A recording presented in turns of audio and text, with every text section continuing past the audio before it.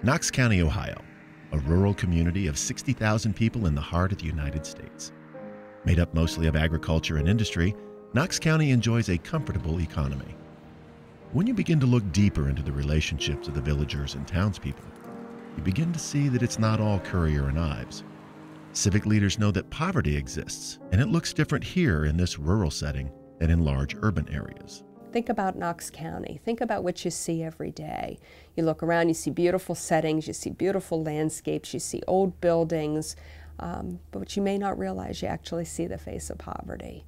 You know, we have a number of people in our community that are barely making ends meet, but that doesn't mean that any of us couldn't be in a real tight situation really fast. If we look at children under the age of 18, nearly one in four children in Knox County live in poverty. We know that at least 13% of Knox County households are living in poverty, but certainly there are many more that are living at, at very low incomes and struggling to make ends meet. We have a working poor here. We have a lot of people who are trying really hard. Unemployment right now is only at 6.5%. However, um, people are working, but they're not getting paid a lot. So they still need help. They need help uh, with Christmas. They need help with their food making ends meet.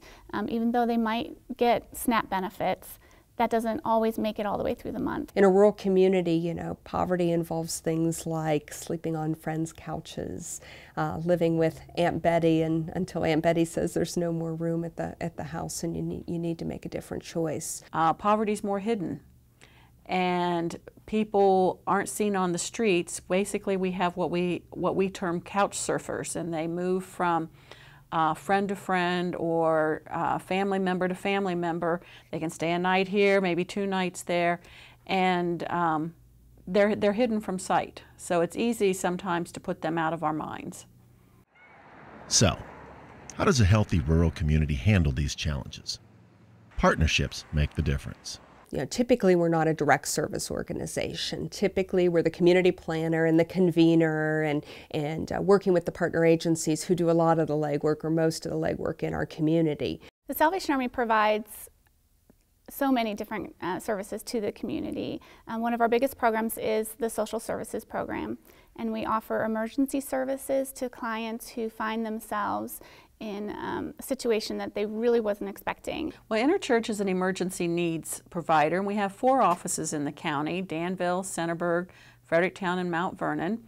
And we provide um, the same services in all four locations. So no matter where someone is, it's easy to get to an office and ask for assistance. So maybe their um, electricity is being shut off or they are being evicted from their home, um, something that um, they have ne maybe never even been through. And so they come to the Salvation Army often as their last resort.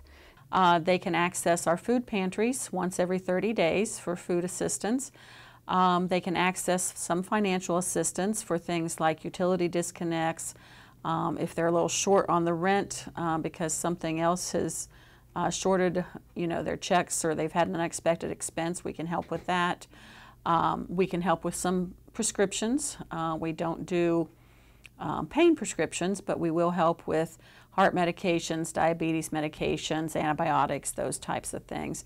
And we can help um, with some gasoline vouchers to enable people to get to out-of-county medical appointments when needed.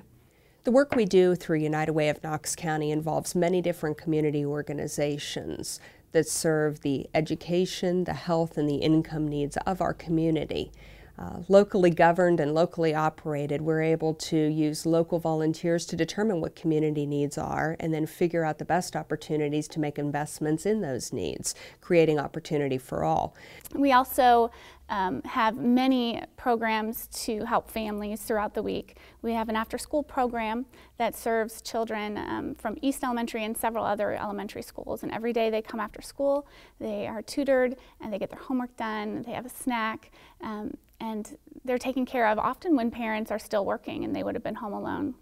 Uh, we also have um, many children's programs, teen programs um, that will keep kids after school in a healthy, safe environment.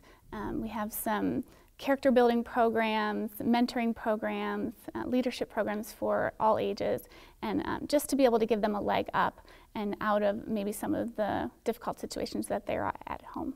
Things that we do uh, well here that around education, income, and health.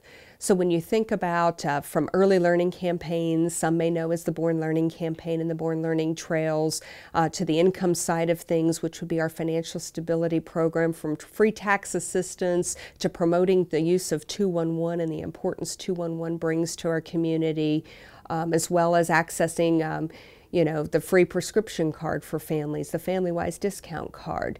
Those are just a few of the ways that United Way works with volunteers and individuals in our community working to address needs. We hear it occasionally.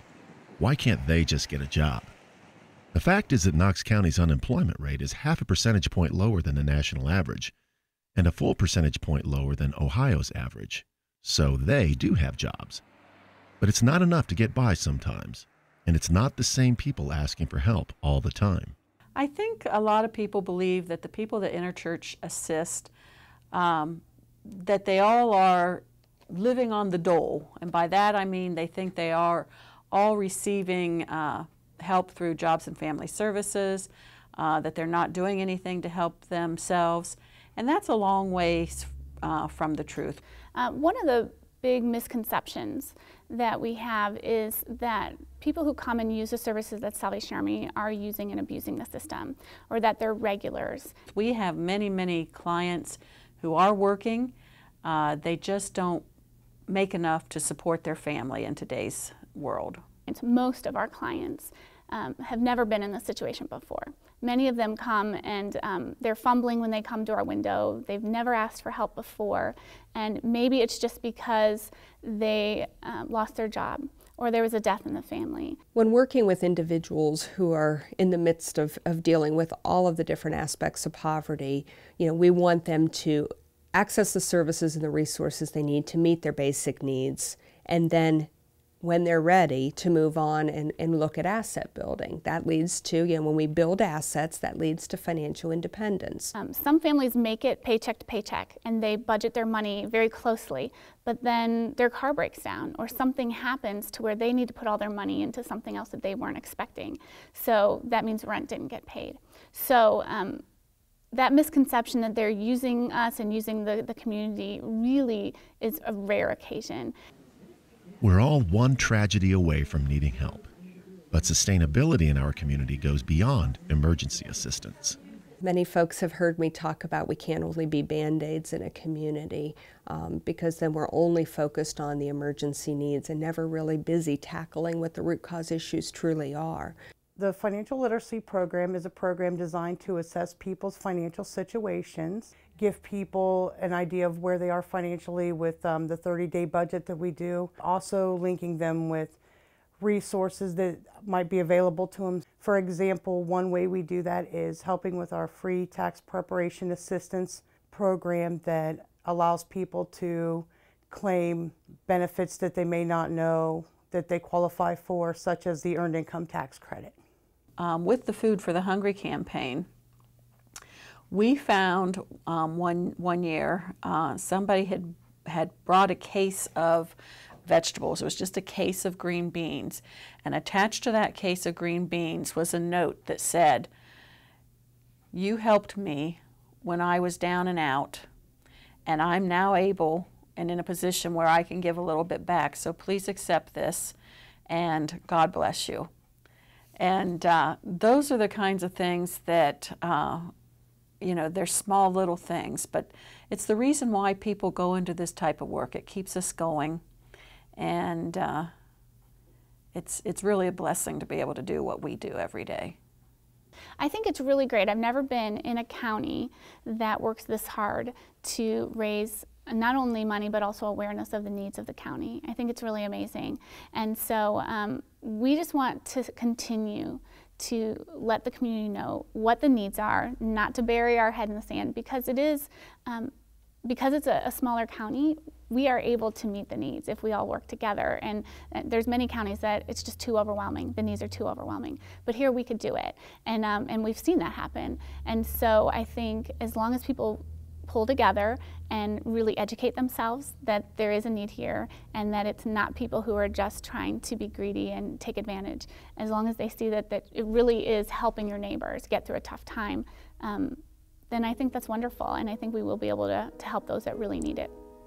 Every community has its challenges, but knowing these resources to fill these needs is a huge step in creating and sustaining a healthy rural community.